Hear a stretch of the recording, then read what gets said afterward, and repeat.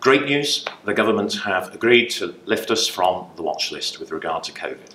So in the first instance, I must thank all businesses and residents for everything you've done during this period. We're one of very few areas in the country that have been lifted from that watch list. And that's important because that means that we have been vigilant, we've been following the guidelines, and we've all worked together as a community to ensure that we get removed from that list.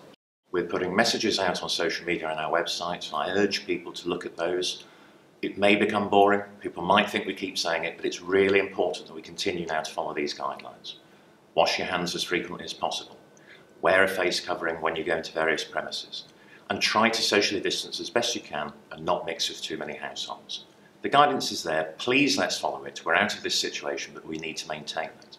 And it's doubly important because that means we can enjoy and support our local economy and businesses.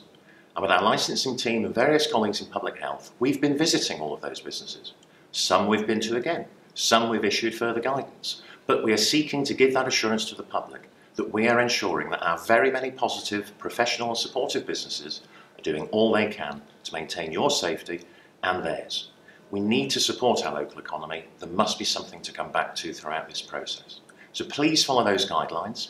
If you go into the town centres, you will see that we've put information out on distancing, how to follow those guidelines. You'll find it at our car parks and outside shops.